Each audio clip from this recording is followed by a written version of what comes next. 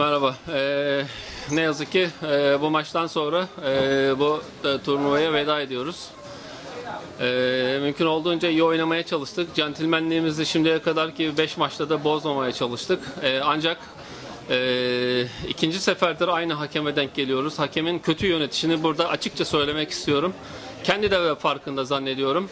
Kart gösterilmesi gereken yerlerde oyun başlatırken yaptığı hatalar var. Oyunun tamamen maç sonrası gerilmesinin sebebi hakemdir. Ee, bunu sitede de yayınlanmasını istiyorum. Hakemin adı ee, hatırlayamayacağım şimdi İbrahim olabilir yanlış hatırlamazsam. Ee, organizasyona teşekkür ediyorum. O kadar.